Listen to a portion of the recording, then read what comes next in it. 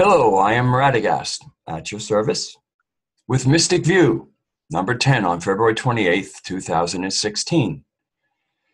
And I am joined by my co host, Shelly. And I would just like Shelly to say hello to everybody.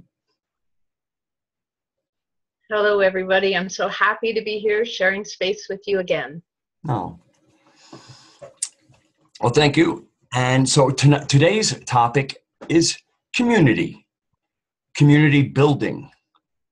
Um, and the, I just feel like the importance of us starting to really have the conversation about communities because of the new paradigm is going to is going to really require us to rethink community and in certain cases rebuild community um, so that's the conversation I'm, I'm going to be having today and fortunately Shelley is very much involved uh, with eco village or community building herself it's part of um, her family project and so i just feel like if this is something that's near and dear to my heart, something I think is really important, and something that I learned quite a bit about when I the seven the six years. I worked for seven years, but I lived for six years um, at Omega Holistic Community in Rhinebeck, New York, um, six months at a time. And that experience of how we lived to bring together a community, how we interacted with each other, how we ate together, how we partied together, how we studied together, did yoga together. Just everything was really done as portions of the community interacting together at all times. Having coffee, you know, the, the cafe um, where people would go in and there were a lot of tables and be a lot of subgroupings. But it also could be a place where music could happen. There was also a main hall where talks could ha- be ha- could could happen, or a bigger musical type of event and then there was also um, the cat uh, the the something by the lake, and they had a, grand, a baby grand piano in it, a, perf- a, small performance stage, and less room than the main hall. But between all of these different, and we ha- and we had a lake to use with canoes and kayaks and rowboats, and if there was one there, you used it. And uh, just how the sh- the how sharing resources um, contribute contributes contributes to togetherness. Um, my I guess my best scenario I'd like to start with, just as just as is a concept of where I'm coming from, is that um, at Omega we had a, a little piece of what is actually called Big Pond, but it really looked like a lake. And I would say the beach front was probably no more than 200 feet, which is, you know, kind of when you have um, a half acre property, you would have 100 by 200 feet. It's not, you know, it's not, it's a nice piece of property, but nothing huge. So similarly, we could imagine having the similar kind of property privately on a lake. So a lot of private people might live on a lake and have exactly the same amount of beachfront as Omega did, and it was shared by a lot of people. And how if you owned a private lakefront yourself, if somebody were to kind of canoe near your shore or to walk near your beach, there might be a little bit like, ooh, who's this? You know, especially because if you're living on your own property, who's it? Is you, maybe, maybe your significant other, your wife, whoever that is, your kids, some friends, but you'd probably be a small group. And so, and the the natural thing of when we own our own property is that any approaches, there's a certain amount of suspicion. Now that's not necessarily a bad thing, because again any you want to always know what your environment is but there is it's almost like immediately projected that this could be a violation where where when where at omega where there might be 25 of us on the beach or 10 or whatever when we see somebody either approaching from land or approaching from water the thing isn't like oh who's that? It's like oh who's that? Who's joining the party? And so there's a there's a lot of joy and when you own things in common because when you own things in common you the the, uh, the joy is in the experience of, of of what we all have together where when you own things by yourself i really feel that joy in many ways is almost is almost in, in an isolation um, because we see how, uh, in my opinion, we see how easily that joy can be shattered if it seems threatened. And so, it, and the other thing with being in a group, if you're with a tiny family and people are coming in, you might wonder, oh, is there enough of us? Where when you're in real groups, these things that might appear as threats to a smaller group, to a bigger group, even if they aren't the friendliest, it's like, hey, there's plenty of us here. Who cares?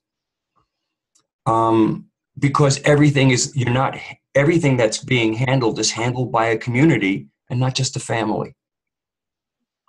Um, so that's kind of uh, that's my starting idea on um, the psychology of owning things in common versus the psychology of owning it yourself and having to uh, quote unquote protect it, keep it, or whatever itself. The maintenance of it. Um, was that a good way to kind of start a conversation on community? Do you think, Shelley?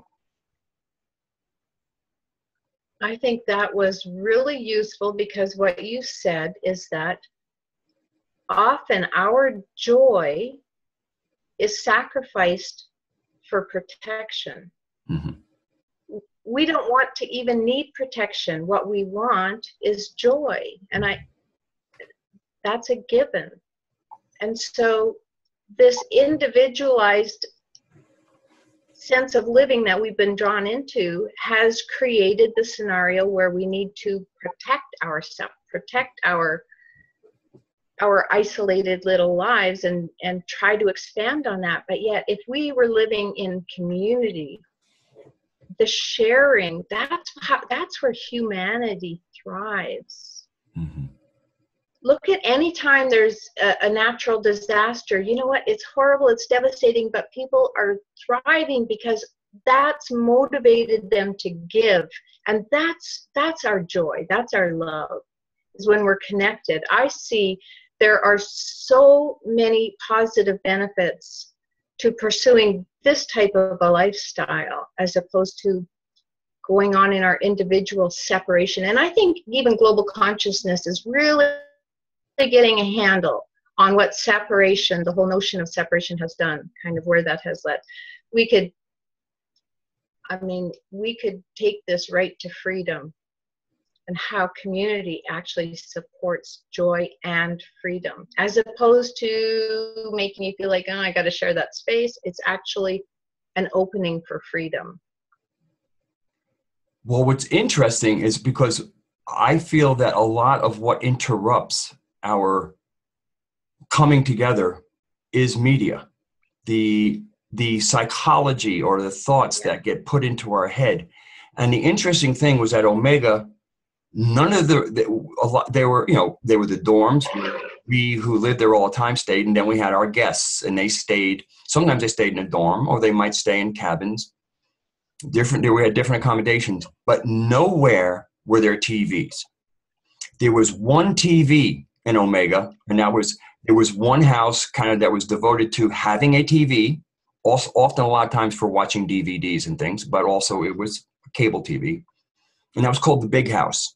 And people tend to go there, to, and so, you know this is kind of like some people liked regular, say like a group of people liked a particular show, they'd go to the Big House to watch that show, but there was only one TV in all of Omega for that kind of intrusion and I th- and I think that and the fact and there was only so many people that could go into the big house, and it can it tended to be kind of cliquish.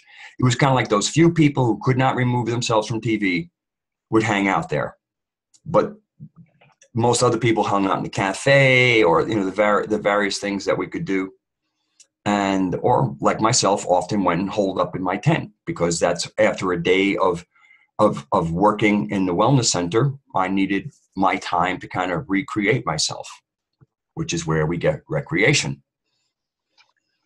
And so it's just really, I really feel that one of the greatest adversaries to our thinking as groups is the media, which always wants to break us up through in by planting i'm going to call little idea bombs or little idea viruses um, that just kind of get taken in. They are um, they're aimed at our emotions. So if they hit us in our emotions, they take us out of our third chakra or or more you know easier, we're clearer processing, and now get us into like the the slightly muddier waters of what you know of, having our feelings evoked. Um, so it is really it is really interesting that a big part to me of building community is having enough activity and having enough common purpose where TV would be like one of the last things you would think you would want to do with your time. That's really beautiful because what we're doing is supporting and nourishing people's actual values. Do you know so many people in my work have never even figured out what their values actually are? They're so under the auspice of social conditioning, as you were describing it, as what is fed to us by media, social media, um, that they have never even actually stop to figure out what their real values are. And so, beyond even just the emotional content, I, I think that it we become very susceptible to an egoic lead as opposed to a heart lead, hmm. right? In, instead of being led by our heart and what we know is in our highest good and the highest good, when we thrive, the people around us thrive. Mm-hmm. It's a domino effect and it goes either way. So we can certainly take action steps to make it a positive domino effect. And that brings us to kind of the political the political guidance of how does this operate right it's not a hierarchical establishment it's not a group of people doing that would be a cult mm-hmm. how do you see how do you see creating that equal equality even though this person might love to do the certain work eight hours a day and somebody else would rather be playing you know with the kids or something like that where everybody is still not just valued for what they bring but that they're they are equally as valuable and seen as as equally valued because they're participating in the community. It's like um, you know in my family in my family the na- on the blackfoot the grandpa put a lot of financial support into giving one child an education. She uh, was not higher than than the others but she was given all kind of this the financial support. She ended up being a water systems environmental specialist whereas another child was given all the ability to become the spiritual leader. She was trained in the ceremony and given the rights to to be that for her her people. So it takes every everybody brings a very important element and and we don't need to duplicate each other but it's for the greater good of the whole. Same like your body has to be for the greater good of the whole. Yes. You know you don't just support a few cells in your fingertips. You don't specialize and say the eyes are more important than the ears. If this is a this is a collective that we that we need to support the whole. And that's a mentality that's a mentality that that that is so nourishing and supports. So I, I just had a little analogy, right? It's you don't get st- stuck looking at at the finger pointing to the moon. You're actually looking to the moon. So what what is the goal of this community living? What is that?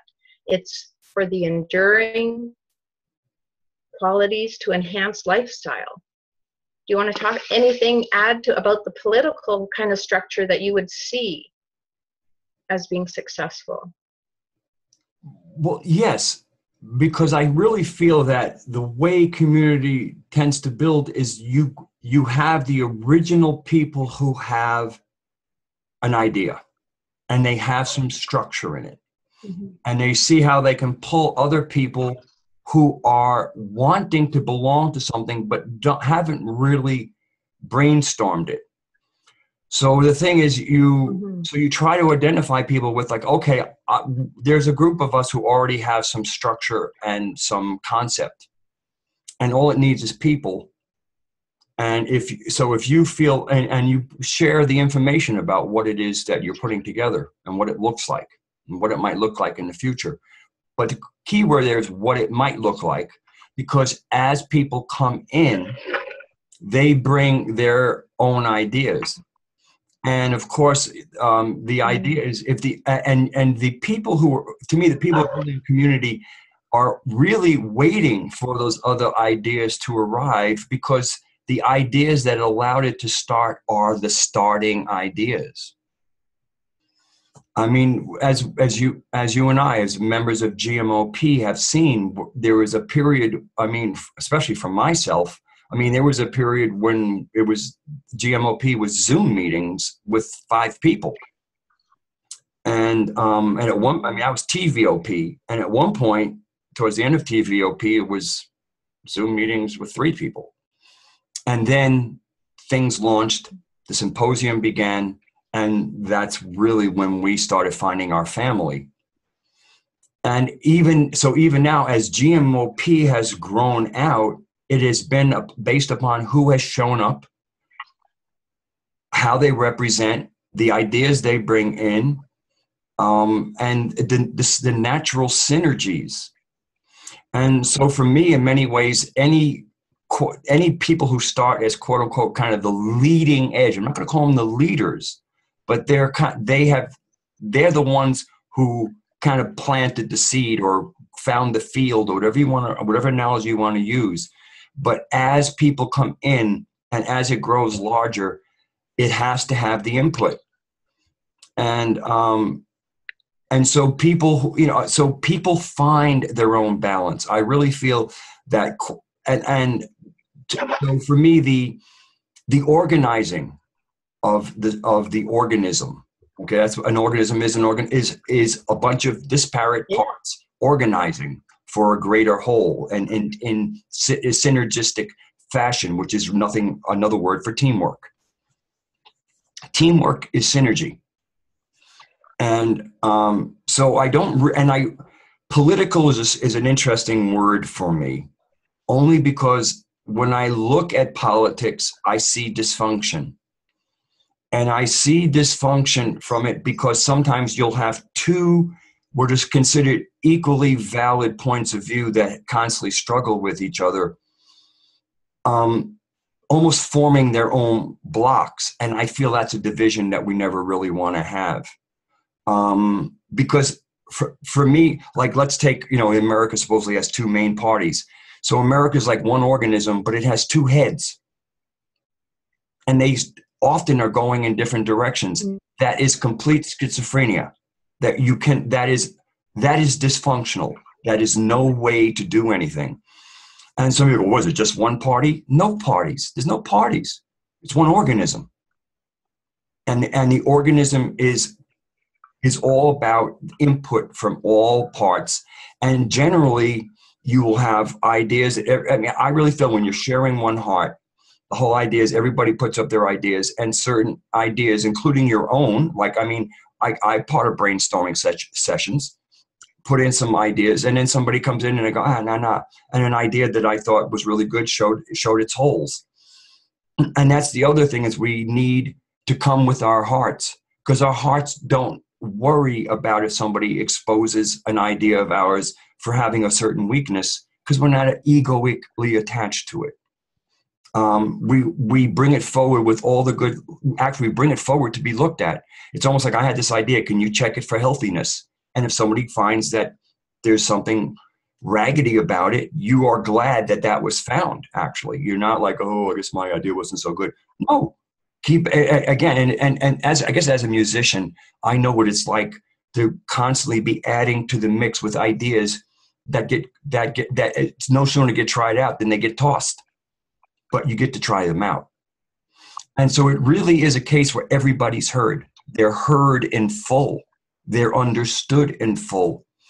And so and, and i think that's kind of quote a political process that is missing where in fact there you you are represented because you represent yourself. And that's the other thing is sometimes why i think there needs to be more autonomy for smaller pieces of of communities that then inter, inter, interact with each other like a body like different organs in a body. Um, so there isn't too too much where the where the top or the organ what considers the organizing principle is not removed. It's actually local.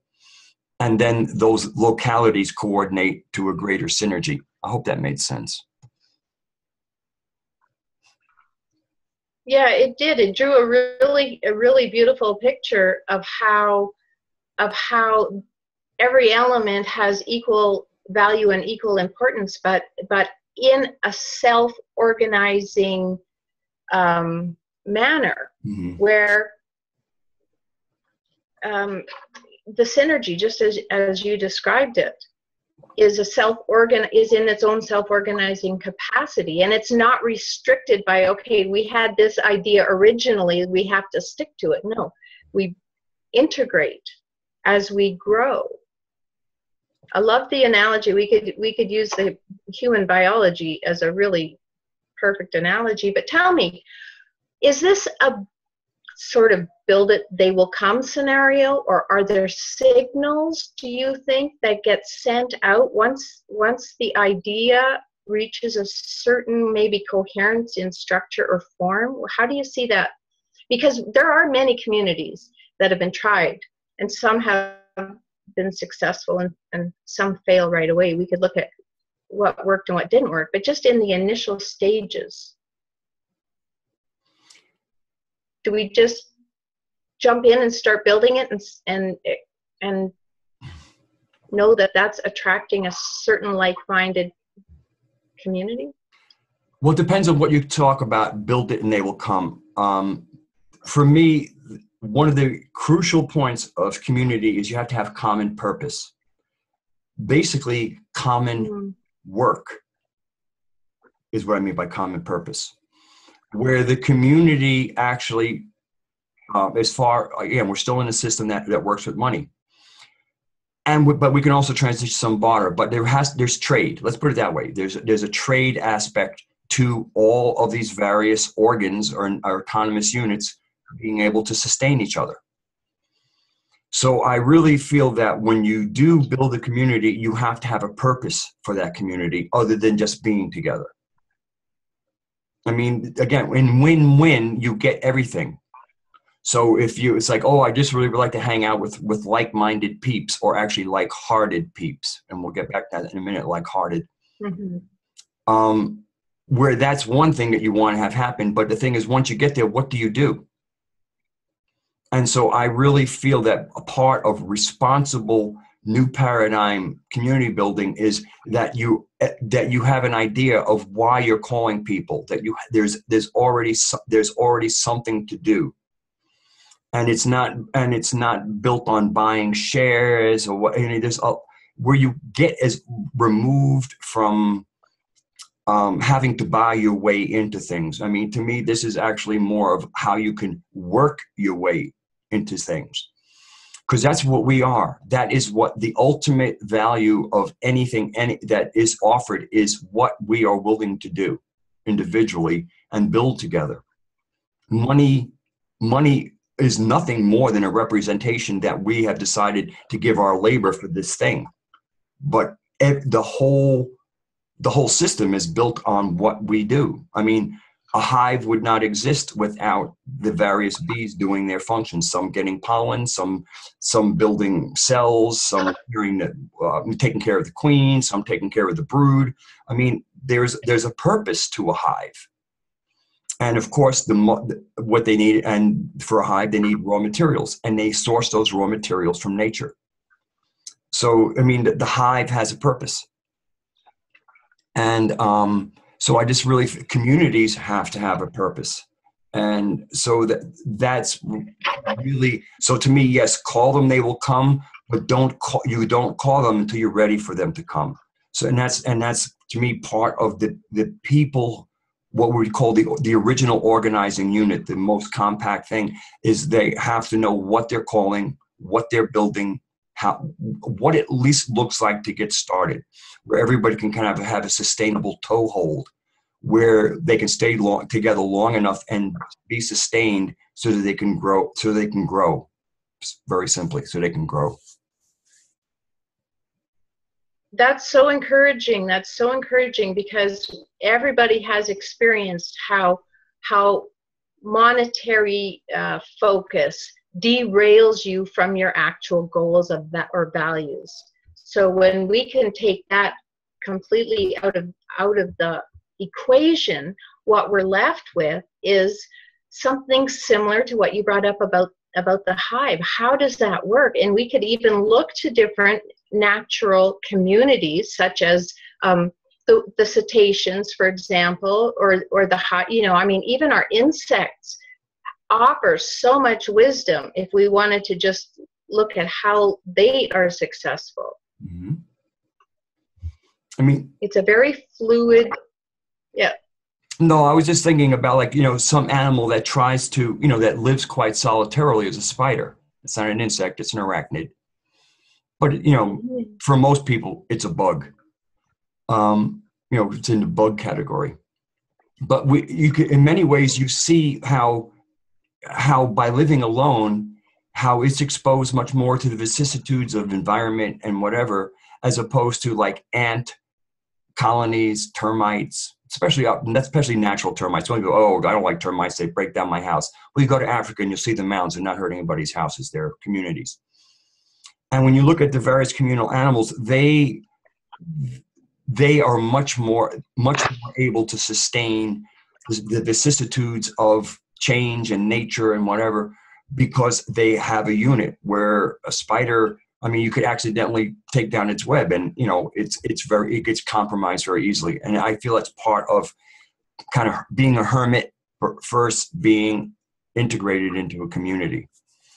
Um, and you you just you see the strength of doing things together, and and having you know, and again having done that experience of being in a community of like-hearted people is the richest it is the absolute richest I've ever felt. Living in a tent and feeling like a wealthy man. Why? Because I had halls, grand pianos, yoga studios, of, of my own a lake I could go to anytime I want to, three meals cooked for me a day, plus the ability to go in between meals into the back room and have some leftovers. I mean, just at, all I had to do was show up. And of course, I had my assignment within this organism, and I carried out my assignment well. But the people who were feeding me and preparing my food, that was their assignment. And, and it's, it's really about coordinating our efforts where we all nourish each other with our, with our labors and not again where what we do nourishes the community and not someone outside the community. Where we're it's you know we're not giving it away. And the current uh, financial situation is a lot of our labor and the the rewards of it go to people who are not actually helping us. And so it's really about yes the rewards would go the rewards stay local except for what, what, what rewards that are used for trade and commerce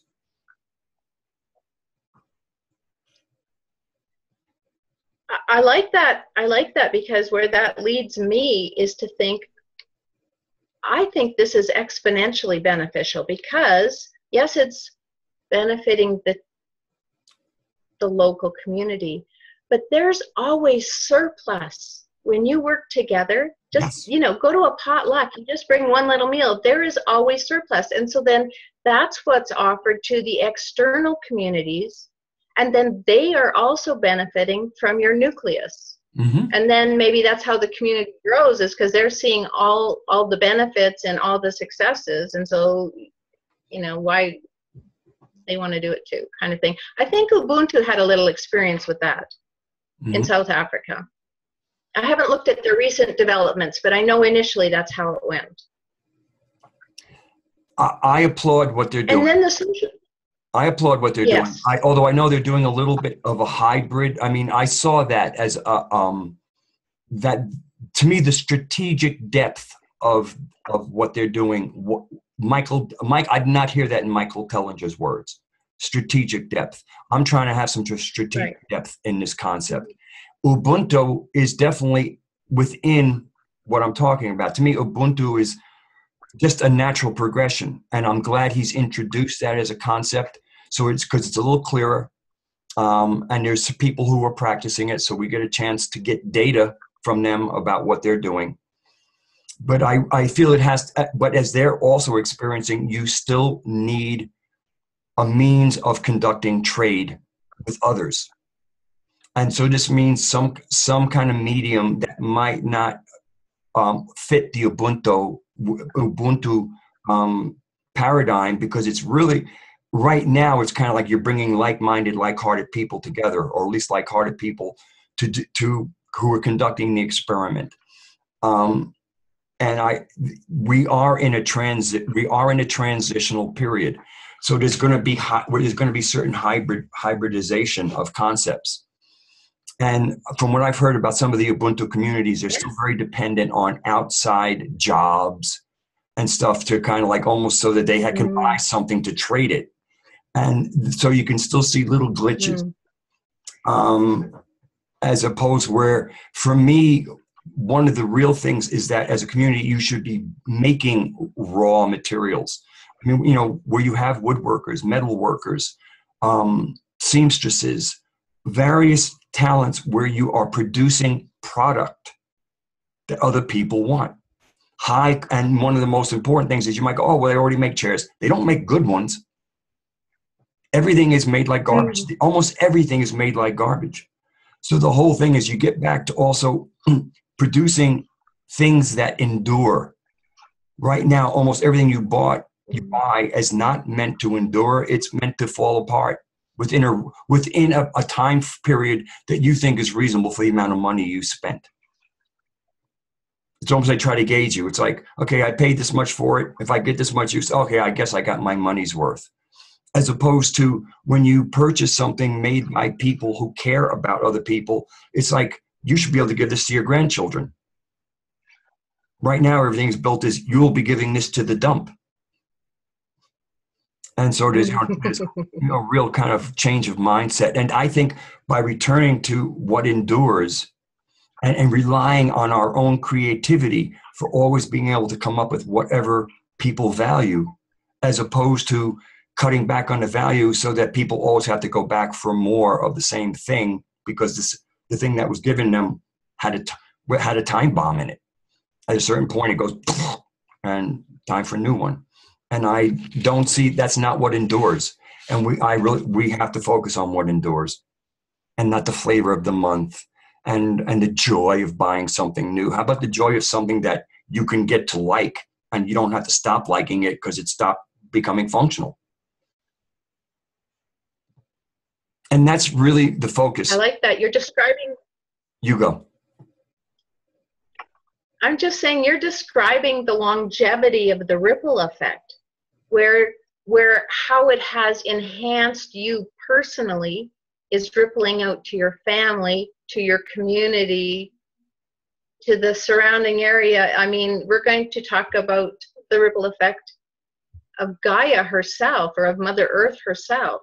And you know the difference between wearing some garment that's, you know, made from polyester compared to the joy of wearing beautiful fabric or the difference between eating nourishing food that you feel great when you've consumed it and you feel powerful and and vibrant as opposed to you know whatever was cooked up and stored for two months.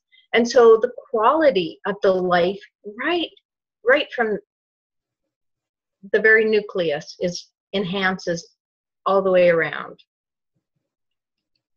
how lovely it is you know to to have quality everywhere that you look because doesn't that affect your mindset doesn't that also affect how you think and how you feel about yourself and how you feel about the people in your community or your family absolutely because it's what i'm quality.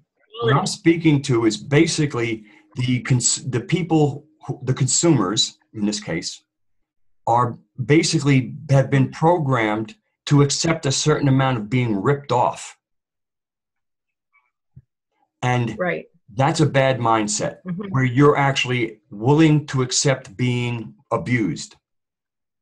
And so th- when you accept, ah. abuse, so you're actually accepting abuse. So w- what does that say about us? We accept abuse.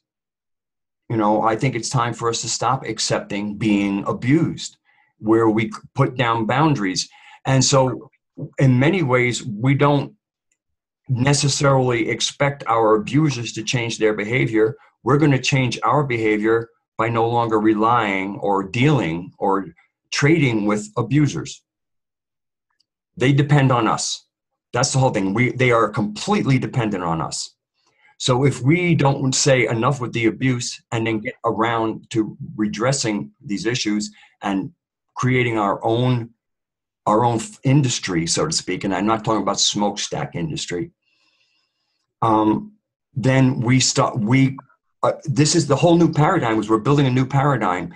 And so the whole thing is we we build and we repopulate and we basically leave that ener- we no longer give our energy to that. And what we don't give our energy to will go away. They stand on us. Their existence is completely dependent on us. And but we have to come to that agreement uh, that uh, that uh, um, understanding and then enter into new agreements with each other um, and i think that's part of going ahead so with the time we have left unless you have something you want to end, then you will have that opportunity. But I want to go to the good news, how we close Mystic View. Um, unless you will have a last piece to, to yeah. a conversation. Well, I believe the last piece I would have would tie us into the good news because what you were just describing is the psychology of community where we are feeding the change that we want to affect you know? We just start being it. It's like you can write your own good news. It's a very fluid um, scenario. And when we are talking about the psychology of community uh, the cetaceans are a really prime example of that exactly so my good news to share with everyone is that the whales off the coast of Southern California and Hawaii have recently really won a victory. In response to a lawsuit brought about by the Natural Resources Defense Council, the U.S. Navy has now agreed to restrict its use of damaging sonar and explosives in these habitats, in the cetacean habitats. And how the cetacean community affects humanity, I'm sure everybody is going to see the ripple effect of that. And uh, that is really prime good news. And there's a lot more information about it, but is there anything that you would like to add or, or within the water stories of good news that are coming about all over the planet?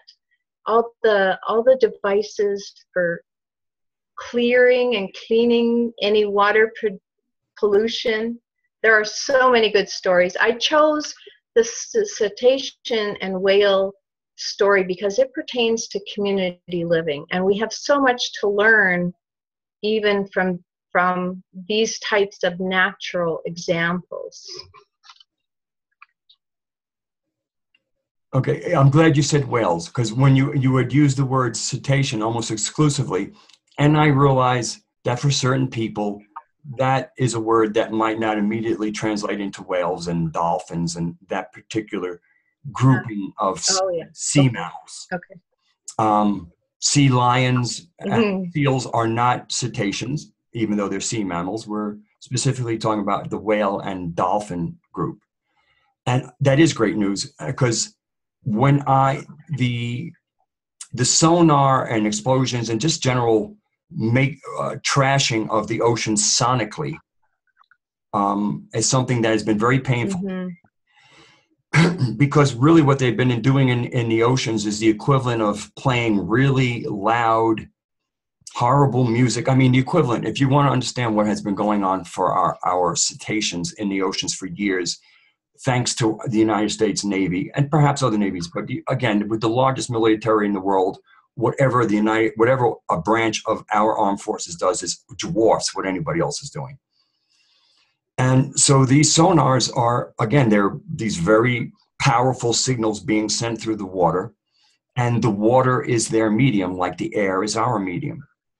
And so if you lived in a neighborhood where somebody m- put two m- loud subwoofers and big, it's kind of like having a professional PA system on somebody's roof in your neighborhood, and the music never stops. And it's just pounding music.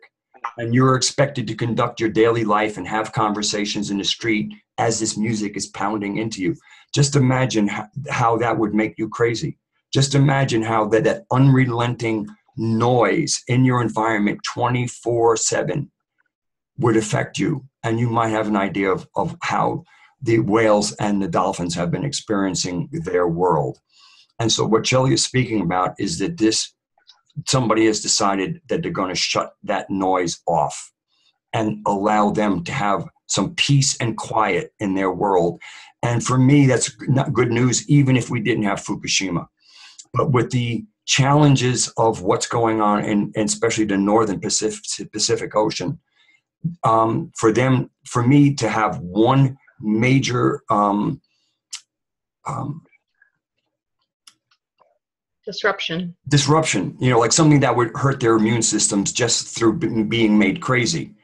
Um, that now that they will have a, a greater re- maybe a greater resistance to some of the radiation and the, you know and and also just a degradation of their environment.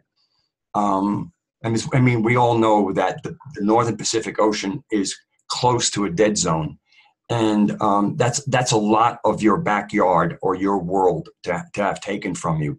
So at least they've been given the solace and some peace where they can find it without this horrible uh, sonar being blasted through their world by the navy. It is very very good news. Well and it goes really well beyond even just noise pollution. The sonar can have a range of effect on all marine animals. You know, on one end of the scale, you have outright death. If whales are close enough to high intensity source, it'll damage their internal organs. There are indications of bleeding from the ears and the eyes, and this is supposed to be good news. So, so, but you can get how important that this impact is and and that's that's at a distance. The close the closer range ones it, you know so the further away from the source whales can suffer yes permanent or temporary hearing loss and it gets much worse for those closer to to the actual sonar. So this is really really positive news because we're all connected. And um, it's it's like saying okay so something stop being disruptive in your stomach. We know this is going to affect the whole. This has been a really positive step forward for for all of the earth because we are connected. We are all one. And I do believe you had one more story that in many ways ties in. I'm going to mention the man's name, uh, Manoj Bhargava. Manoj Bhargava um, is the man who is known as uh, for creating something called billions in change. I know of three basic technologies he's come up with. One is um, some some balloons that pulse and allow your blood to return, um, your lower body blood to return into your body, and it allows for greater oxygenation. That's one. The other one is he's developed a very low cost way of turning any kind of water, whether it's seawater or sewage, into clean water. And it uses membranes that do not have to be constantly uh, replaced like a lot of other um, technologies. And it can be scalable. It can be done. The the one that I've seen could basically would be a household unit, but they can also be put on boats, put out in a, a bay, produce uh, and and creating fresh water from the bay that it can be piped in and and and, and again it's it's it's scalable. It's just you kind of add another bar more of these and as many as you can make it means the more clean water you have from the ocean.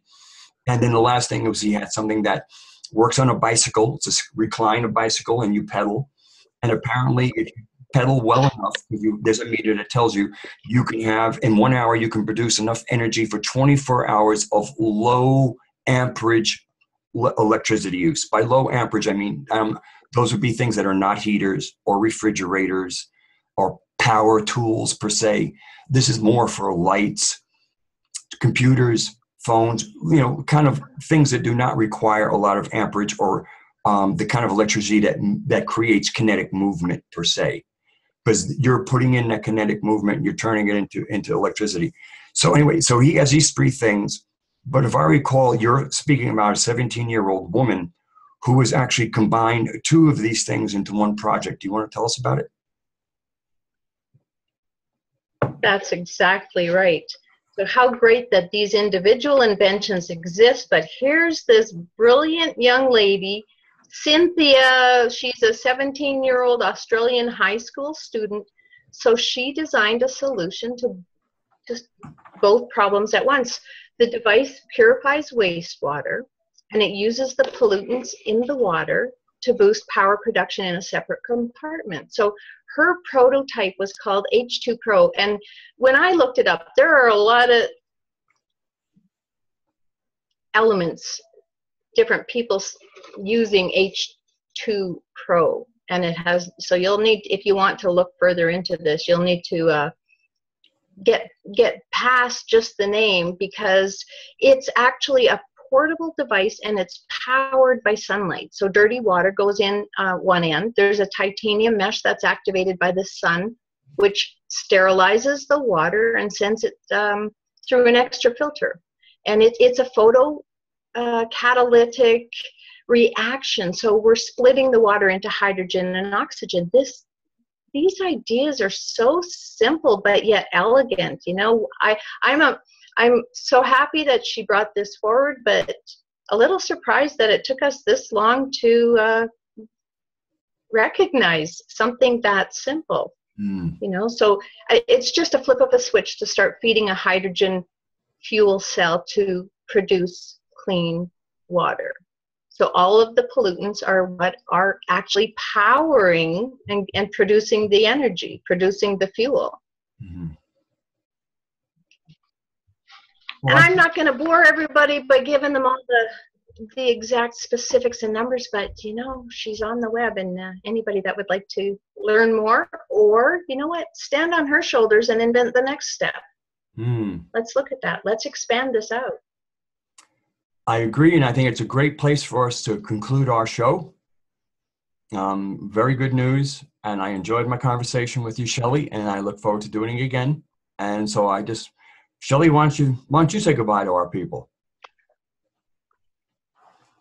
I will. Thank you, everybody, for sharing this time with us. We're having a lot of fun here and look forward to more good news. There is a lot of good news. And how about if we write our own? How about if we take that onus upon ourselves? Mm. Until next time. Until next time, this is Mystic View with Radagast and Shelley. God bless.